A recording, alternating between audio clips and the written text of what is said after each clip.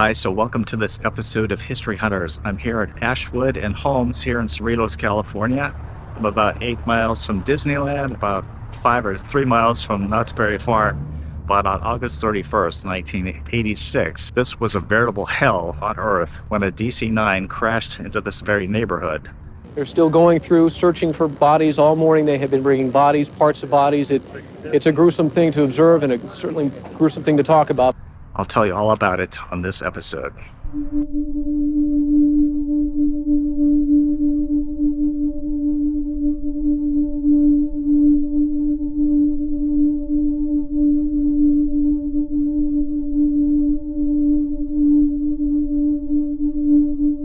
It's August 31st, 1986.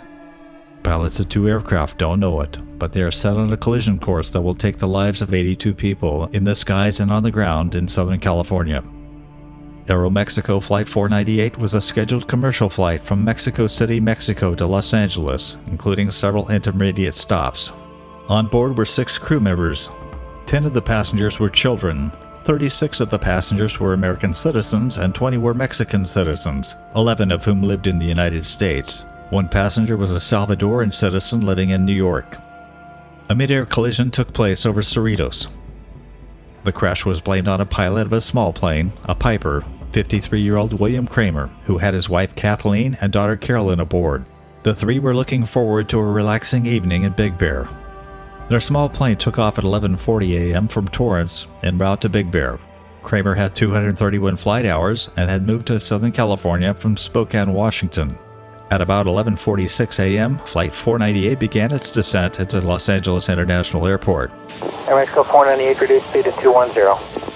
210, 498. Runway 5225, the traffic is now, correct, turn left heading 230, the traffic's at 11 o'clock in the mile. Unfortunately, Kramer entered the Los Angeles Terminal Control Area airspace without clearance. The air traffic controller was distracted by another unauthorized private flight that had entered the TCA directly north of the airfield, which also did not have clearance. Number 66 Romeo, you at 4,500 now? Uh, negative, we're at 3,400 climbing. Okay, you're right in the middle of the TCA, sir, number 66 Romeo. I would suggest in the future, you know, look at your TCA chart. You just had an aircraft pass right off to your left above you at 5,000, and we've run a lot of jets through there right at 3,500. The planes were between 6,000 and 7,000 feet high when they collided just minutes later, at 11.52 a.m. The Piper's engine collided with the left horizontal stabilizer of the DC-9, shearing off the top of the Piper's cockpit and decapitating Kramer and both of his passengers. The Piper began dropping onto an empty playfield at Cerritos Elementary School. Meanwhile, with all of its horizontal stabilizer and most of its vertical stabilizer sheared off, the jet inverted and entered a dive. It came down into this residential neighborhood at Holmes Avenue and Rivas Circle in Cerritos, first hitting the backyard of a home, exploding on impact, and then sliding in a southeastern direction. The airliner destroyed at least 10 houses and damaged 20 more. All 67 aboard both aircraft were killed and 15 on the ground. Eight persons on the ground sustained minor injuries. One resident burned to death trying to save his home by fighting the fierce flames with a garden hose. The front part of the fuselage of the Aeromexico jet tore through houses and eventually punched through a concrete sound wall and came to rest on the sidewalk on Carmenita Avenue. Now, the way that I understand it is the Aerojet plane and the small plane crashed up there. The plane ended up coming down here in this neighborhood in an inverted fashion. And I'm going to take you over here to the front of this house it says it's not a through street here. Right past this sound wall is 13426 Ashwood Place. And it was in this either front yard of the house or the backyard where the Aerojet plane first made contact with the ground. Of course, this house is completely rebuilt since then.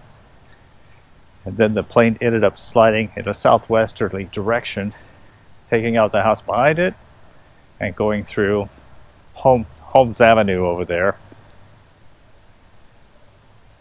And I will try to point out to you exactly which houses were hit.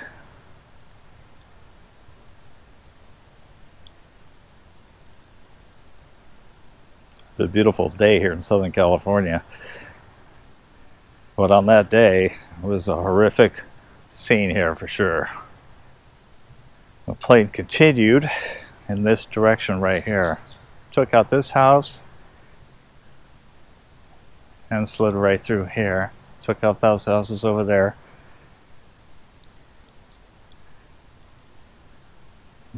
The houses you see across the street were all destroyed by the flames and the crash. And slid right across the street here into this direction. Killing the Estrada family.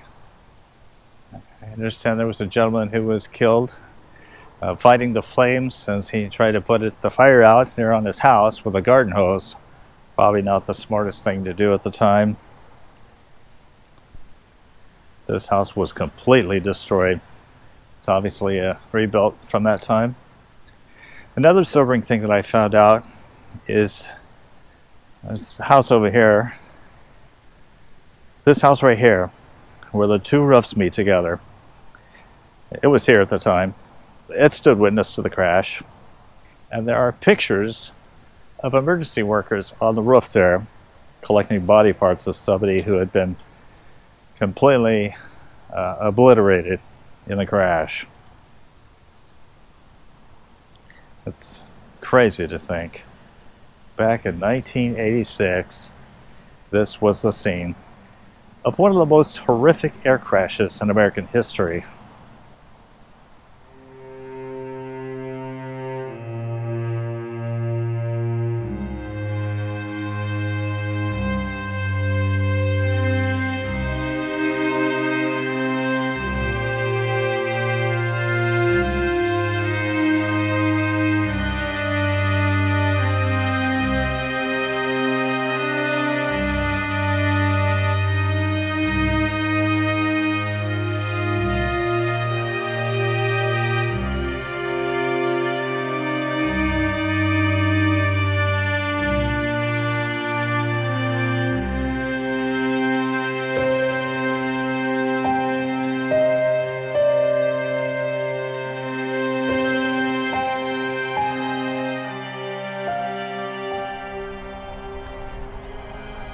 Tell you, it feels really strange being here.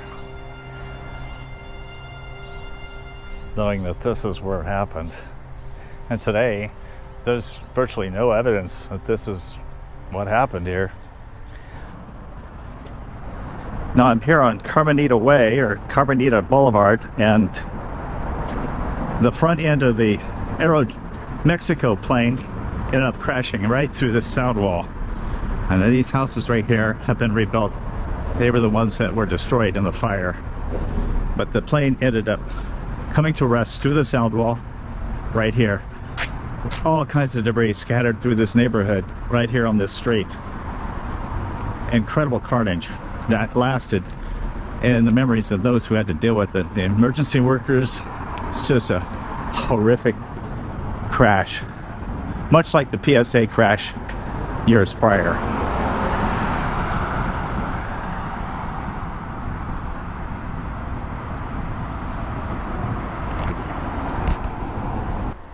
It was an eerie experience walking along the Carmenita Sound Wall, which stood witness to the horrible tragedy 36 years prior. There's nothing on this spot today to indicate the carnage that took place here, not even a plaque. However, although I'm fairly certain that the sidewalk of 1986 was replaced since the crash, I was able to pinpoint where the plane punctured through the wall, scattering debris and shattered bodies into the road. Oddly, though, the newer sidewalk has a noticeable crack marking the exact location where the plane punched through the wall. Now, the unfortunate part of this whole saga is 67 individuals on that plane were just obliterated. I don't have to I don't have to tell you what the scene looked like with body parts strewn all over the neighborhood.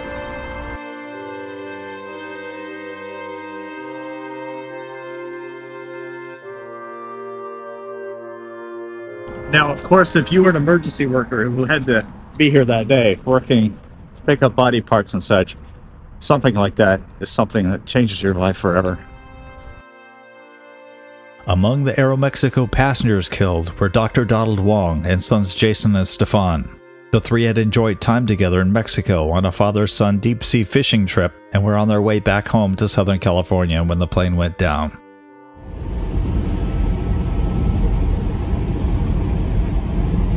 Park here. Wally should have went. Is that? It's over here that I want to go to.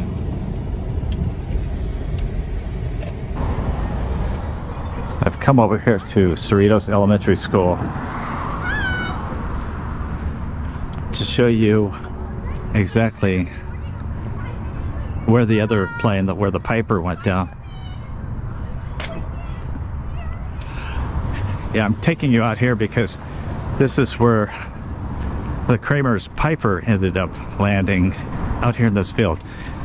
After the midair collision, the top of the Piper was cut right off, so I don't have to tell you where the Kramers died.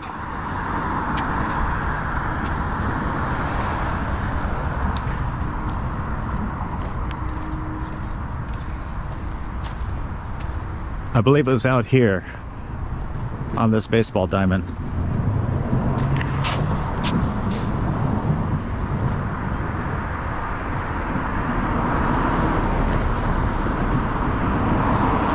They actually ended up taking the plane out, by picking it up and taking it to a hangar to, to be looked over.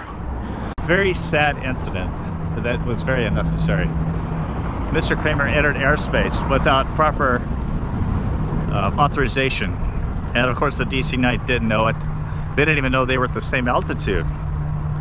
And the fact that they had such a narrow window of opportunity to hit each other it's really amazing if you think about a mid-air collision even happening with there being so many miles above us and um, planes being relatively small it, it's just just amazing that you could have a mid-air collision like that the bodies of William and Kathleen Kramer and their 26 year old daughter Carolyn were taken to their native Washington state to be buried with family. All three were laid to rest at the St. Gall Cemetery in Colton, Washington. So what we're going to do right now is go over to Cerritos City Hall and check out the memorial that was placed there for the victims. What happened here that day. So we drove a short distance away from the crash site over here to City Hall. Right next door is a sculpture garden. And that monument behind me is in tribute to those who lost their lives in the horrible plane crash here. Over here on the larger stone, the white stone, you see that it talks about in memory of those who perished on the DC-9 Aeromexico Flight 498 and the Piper Cherokee Archer II Cerritos air disaster of August 31st, 1986. And it has all the names. At the very bottom, right there, you see the Kramer's names. Over here on the shorter monument, it says in loving memory of our Cerritos families and friends who perished in the Cerritos air crash August 31st, 1986.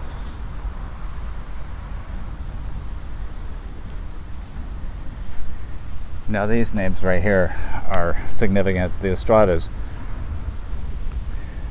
A resident here on the ground named Teresa Estrada was returning home from a grocery store and she saw a fireball just blow right through her neighborhood. She could not believe what she was seeing. She was actually witnessing the death of her husband Frank and her children Javier 16 and Angelica 14. She was awarded $868,000 in economic damages, $4.7 million in non economic damages, and $1 million for the negligent infliction of emotional distress watching her family perish in the house fire that resulted when the plane barreled right through her house. I'm pretty happy to see that they memorialized the victims of the air crash because we did a video on the air crash that was in San Diego and they haven't actually created a memorial. They they have a plaque somewhere at the uh, Air and Space Museum in San Diego, but they don't have anything like this that memorializes the victims of that air crash. The memorial to the victims is the centerpiece of the Cerritos Sculpture Gardens, created in 2006 as a 50 year anniversary gift to the community. Infinity by artist Cliff Garten is a sophisticated stainless steel art piece that appears to change formation from different viewing angles. The element sculpture seen here represents the four elements of nature earth, wind, fire, and water as embodied by female figures.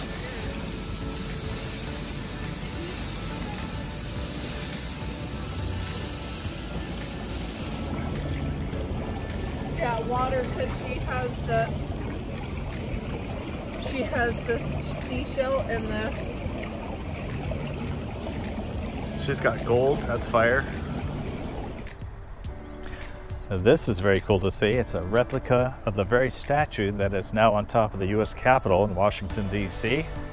This is uh, two or three that were made by Michael Maiden. And right there it says E pluribus unum out of many one. That's very cool. Among the most delightful of sculptures is Join the Parade by Jane Rankin and is an ensemble of eight bronze children in a makeshift marching band using kitchen utensils and cooking vessels as instruments. Kid in a wheelchair with a tambourine. Not sure what this kid's doing. This little girl here.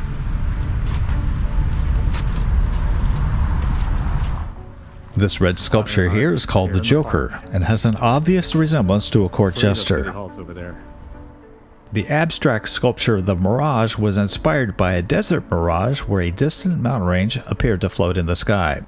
Creating a horizon and diffusing it with the mirrored stainless orb, which is split in half, the artist achieved the illusion of a floating landscape. So I do want to thank you for watching this sobering episode of History Hunters. You know, sometimes that uh, videos like this are not pleasant, but it's almost a reminder of how far we've come with air traffic safety. Things that were permitted in the 1980s are not permitted today, and that's all good for us who fly. But I want to thank you so much. If you could leave us a comment, we would appreciate that as well. Also, give us a thumbs up. And if you haven't subscribed to History Hunters, we would love to have you join this growing family of those who love history. Thank you so much.